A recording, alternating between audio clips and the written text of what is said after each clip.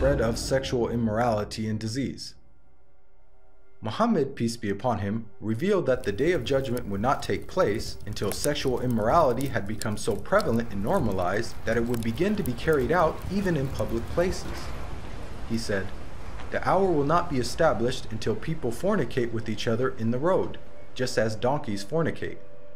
Today we live in a world where we are being constantly bombarded with explicit sexual imagery, be it in TV, film, or advertising. And with the advent of the internet, pornography has now become readily available at any time in any place. In fact, we are finding more and more stories in the news of people being arrested for having sex in public.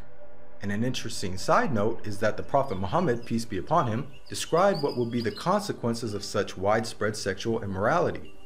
He said, Never does sexual perversion become widespread and publicly known in certain people without them being overtaken by disease that never happened to their ancestors who came before them. The increase of sexual immorality has seen the emergence of previously unheard of diseases such as AIDS, just as the Prophet Muhammad had forewarned.